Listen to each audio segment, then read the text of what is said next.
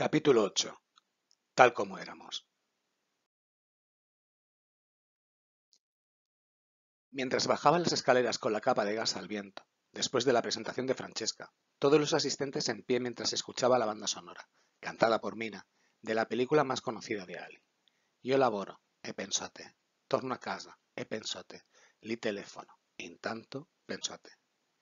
Mientras bajaba esas escaleras, veía a todos en pie, la canción, el homenaje y su vida cuando pensaba. Dentro de cada anciano hay un joven que no sabe lo que ha pasado, en qué momento dejó su vida de ser alegre primavera para entrar en un duro y largo invierno sin ver más allá.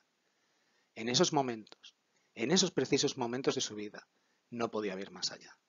Ella, que durante tanto tiempo vivió en una estación de sol, ahora la noche se cernía en ella.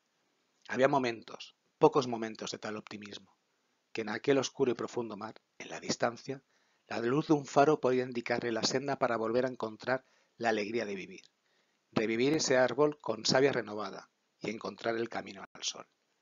Veo las hormigas, bajo como una mariposa y busco el sol que no encuentro. Era la mayor de las señoras, la más laureada, y la que más nominaciones a los Oscar tenía. Era correcta en todo momento, a pesar de lo que estaba pasando por su enfermedad y su estado de ánimo, supo mantener la compostura en todo momento. Los invitados eran casi todos procedentes de la industria cinematográfica y el resto de diferentes ámbitos, como la música, televisión y grandes empresarios. Eran pequeñas mesas redondas delante de un gran escenario, y al frente de este, la mesa principal rectangular con Ali, su marido y su hijo. Francesca empezó a relatar la biografía de Ali, sus orígenes, aparecieron en el escenario Clark Flynn, con quien protagonizó varios títulos, dedicándole unas bonitas palabras, y empezaron a pasar fragmentos de sus primeras películas. El homenaje fue transcurriendo de la misma manera, haciendo pequeñas bromas graciosas y la actuación de Peter Perkins para conseguir el toque de humor. Con todo lo acontecido, era inevitable que hubiese momentos duros, por lo que Francesca, que organizó la escaleta de la gala, decidió hacerlo en batería. Francesca empezó a enumerar las películas en las que habían trabajado juntas, Ale McCarthy con F. Campbell, Cindy Shooter, Chloe Smith. Y al acabar las imágenes toda la sala se puso en pie de nuevo para aplaudir. Pobre Ali. Estaba tan delicada y tan apagada y aún así mantuvo el tipo, aunque en la gala solo hubo tres momentos en los cuales no pudo reprimir sus lágrimas, y ese fue uno de ellos. Llegó el momento en que las señoras iban a hacer su aparición. El escenario en negro total, a medida que iban saliendo, la luz del foco las iba siguiendo. Hemos amado, dejándonos el alma en un suspiro. Hemos luchado, dejándonos la piel en el camino. Hemos llorado, un adiós con sabor a despedida. Y hemos probado el sabor agridulce de la vida. Son las palabras que te traigo de mi tierra, de mi gente. Mi tierra y mi gente que también es esta. Sois vosotros, eres tú. Tú eres la que sembró y nos ayudó en el camino, y eres un ejemplo para nosotras. Recitó y habló Victoria con un hilo de voz, cogiendo entre sus manos el primer Oscar que ganó Ali, iluminando la parte donde estaba ella en un color rojo. Memoria, medianoche. No hay ningún sonido en el pavimento. La luna ha perdido su memoria. La está riendo sola en el farol. Las hojas marchitas junto a mis pies y el viento empieza a correr.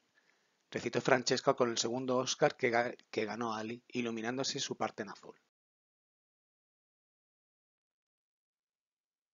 Cuando la música de Family empezó a sonar, Melanie Winter fue en busca de Ali y cogiéndola de la mano la subió al escenario, llegando a la parte oscura, iluminándose en blanco. Las cuatro señoras, micro en mano, cantaron esta canción, se abrazaron las cuatro y allí se rompió. Se incorporaron los bailarines que portaban los premios más importantes que Ali había ganado. Muchos de los invitados hablaron, vieron la trayectoria de Ali, pero ella no había hablado. En el escenario, Ali cogió el micro, desde la mesa donde estaban sentados, su hijo John McCarthy diciendo, Eres la mejor madre del mundo, la estrella más brillante de Hollywood, y quiero que sepas que te quiero, y perdón por los disgustos que te haya podido causar. Ali no pudo articular palabra, y las lágrimas hablaron por ella. Su hijo corrió, al escenario y la abrazó.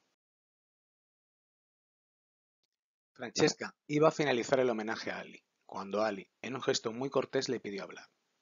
Esta noche no he hablado mucho. Solo puedo daros las gracias por tanto amor y darme fuerza para luchar y para seguir teniendo coraje de vivir. Muchísimas gracias a todos. Dijo Ali con unas palabras forzadas porque estaba muerta de dolor.